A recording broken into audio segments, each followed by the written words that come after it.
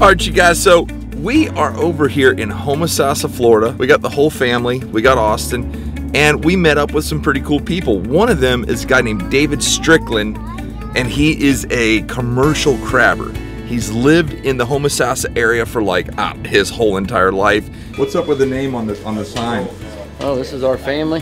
This is my cousin Amingo Strickland, There and go. he's the owner. It's just impossible to walk into a store that sells tackle and not buy tackle. And then you know, if Mama's here, she's buying some kind of merch. It's cool. It's got old Homosassa downside. Hey, you guys, I want y'all to see this. Honey, show them the shirt you're wearing. Ooh, looks good. Turn around. Bam! You can find that on deermeatfordinner.com. Where the crabs at? Uh, in the water. So what's your thoughts, Austin Crockerton? I have no idea. This place is beautiful, I know that. What is that, by the way? Uh, it's a cheese Danish, you know you can't go out without that. Look at this, y'all. Wow. This reminds me of Outer Banks. All you Outer Banks fans, this looks like Outer Banks. Hey, are we in the Outer Banks here or what? Yeah, man. Who's getting crazy in the back of the car? Not me, yeah. Are you excited to go today or what? Oh, definitely. We're gonna have fun. Yeah.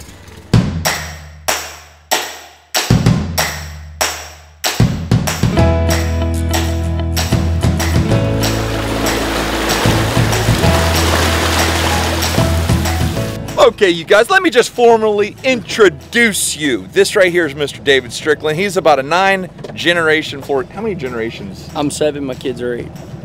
Seven, seven generations right here in Homosassa, Florida. Commercial fisherman, lives off the land, raises a beautiful family. We've been keeping in touch for a little while now on Facebook and Instagram. And uh, me and Sarah were like, hey, let's load up the RV, go to Homosassa, have a little family vacation, and in the meantime, catch some crabs. Not many of you know this, but see that shirt he's wearing? It says, I got crabs. Well, years ago when I had my fish market, people would always call and say, Hey, you got any crabs? And I'd say, Yeah, I got crabs. And then they'd come buy them. Well, that's why I made the shirt. I got crabs. Alrighty, I'm at the wheel. So that means Robert's up at the bow. He's about to throw the net because we need bait for the traps.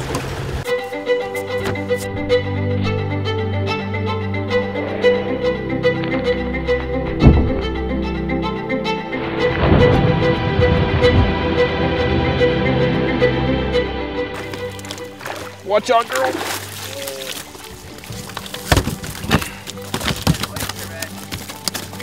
Look at this. Those are oysters. These are all living organisms. Now, like this one, see how it's closed or open? That one's open. Those are dead. But these that are closed, there's an oyster in there, and this filters the water. Each one of those oysters filters about a hundred gallons of water a day. So it's just constantly filtering all day long. That's why if you get an oyster from really tainted water, chances are it's not gonna be good to eat. Is this a whale shark? Nah, these are just mullet. Big old black mullet.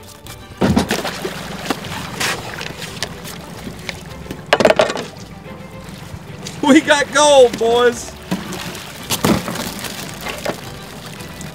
I'm all about learning.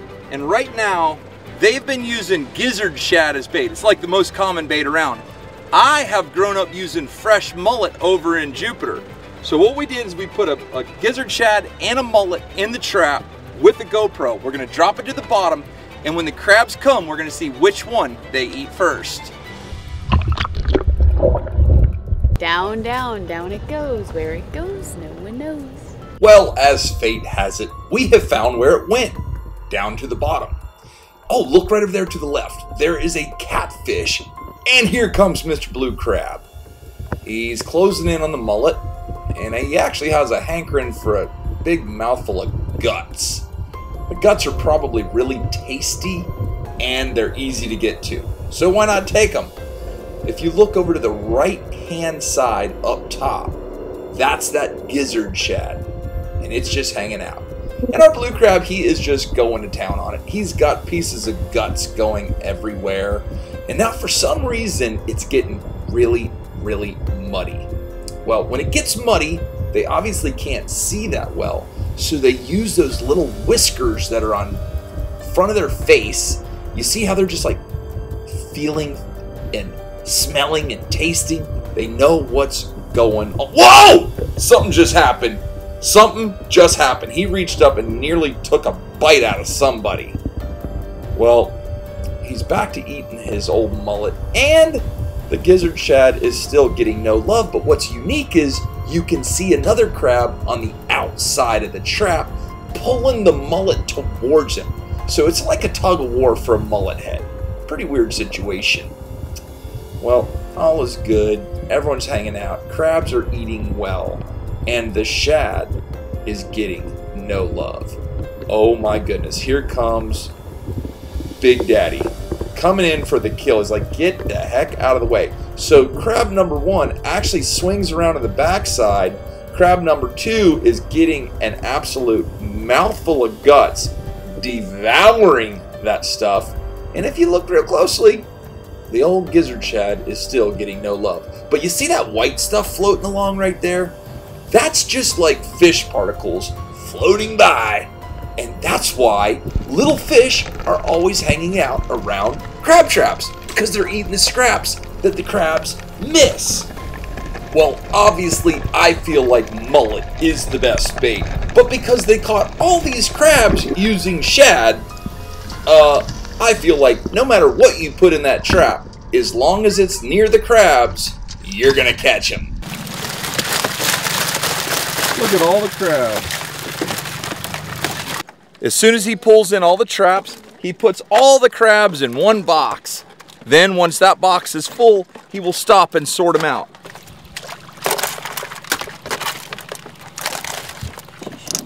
Yep, she's a virgin. Okay, so That's what is perfect. what is the V on here? You can see this V is in more of a, a pointed shape, straight up and down. That's a crab that's never bared eggs before. And this one has a round apron, which was an egg-bearing crab. Now, if she, we, we turn her loose because she's gonna make babies. Now, if she's hard and solid on the bottom, like this, no crunch, no paper, then she is probably on her last life cycle. She'll never produce again. That's the only reason we keep them. If they were to produce again, then we wouldn't keep them. But anything smaller that we think is going to produce goes back in the water.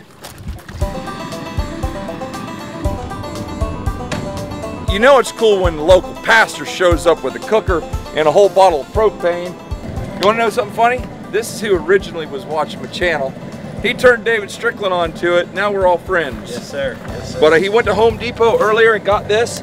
Really nice. A lot of the. Ow! That's hot. Let me show you how I do crabs. Pretty simple. That's white distilled vinegar. About that much. That should do. I mean, I like Everglades, but Old Bay is pretty good on crabs. We'll put a whole tub of it in there. Just like that. Now, what we did there is we got our water right. Old Bay, vinegar, and water. We got corn, sweet corn, locally grown, came straight from Walmart. Throw it in there, throw it all in there. Everybody puts potatoes in their crab boil and no one eats them. You eat like one of them. You eat them? I do too, man. I'll eat that only They're the best. What? They're the best. Potatoes only, man. Can't you tell I eat a lot of starches? Call me wrong. Call me wrong. I never eat the potatoes. I always put them in there. I never eat them. Whenever I was a little kid, we would always go to Fiesta Key in the Florida Keys. We would stay in a little old uh, camper or in a efficiency. And then all the families, we would all get together and we would cook. It was called potluck. You know, somebody bring potato salad, somebody bring coleslaw. There'd be two or three types of fish and lobster cooked up. We didn't have a lot of money, but I guarantee you we made memories that were worth millions. And now as a dad and a husband and a YouTuber, I love recreating that. I love living that life. And so that's what we're doing today. Roll and boil. That corn and them potatoes, they're doing the two-step in there right now. They're happy. Set it right there.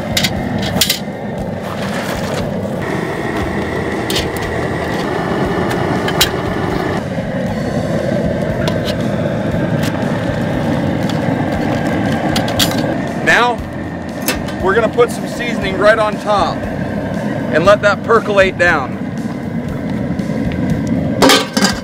There you go. We in action. You want that one because it's burnt? Ari eat it. I love you. She's Like, here, Emma. Ari, on. Okay, you guys, so the table is here. The crabs are ready, and I'm gonna try my best not to burn myself.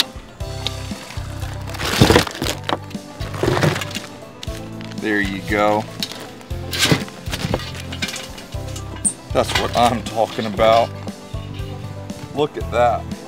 Dear Heavenly Father, we thank you, Lord, for this gathering, Lord. We thank you for this fellowship, Lord, and the new friends that we've met, God, and Robert and Sarah and his beautiful children, and Austin, his uh, girlfriend. God, we're so glad that they was able to be with us on this weekend. God, we ask, Lord, that you would continue to bless them, Lord, as this is a ministry to them, God. We ask, Lord, that you'd bless this food, the hands that prepared it. We ask all this in your mighty name, Jesus Christ. Amen. Amen. That's what it's all about, y'all. Gotta be grateful. If you're not grateful, you're nothing.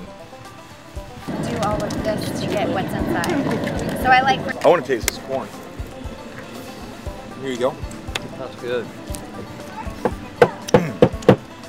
I tell you what, this corn is on point.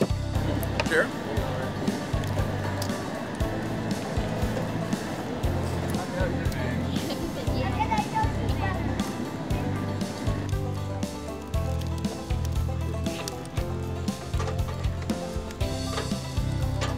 Now, Sarah's putting the girls to sleep inside.